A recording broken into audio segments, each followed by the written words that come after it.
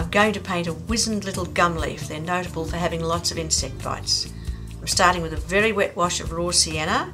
I've added burnt sienna, still very wet, and I'm pulling the wash down the leaf. I'm continuing the wash and leaving gaps where insects have eaten large chunks. Finishing the tip of the leaf by leaving little holes as dry paper. The leaf is still very wet and I'm putting in dark brown spots with the tip of the brush, burnt umber. Because the wash is still wet, the spots are blending and starting to look natural. I'm putting a fine border around the edge of the leaf and adding more details with the point of the brush. As the wash dries, I am adding more dots and I'm starting with the veins. I'm going to lift out a couple of paler patches with a damp brush and put a pale grey wash on these contrasting patches.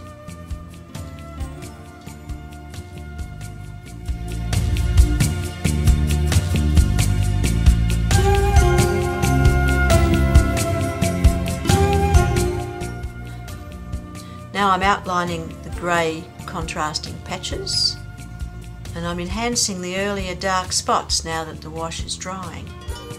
I'm adding a lot more dark spots near the edge and in the centre and enhancing the detail.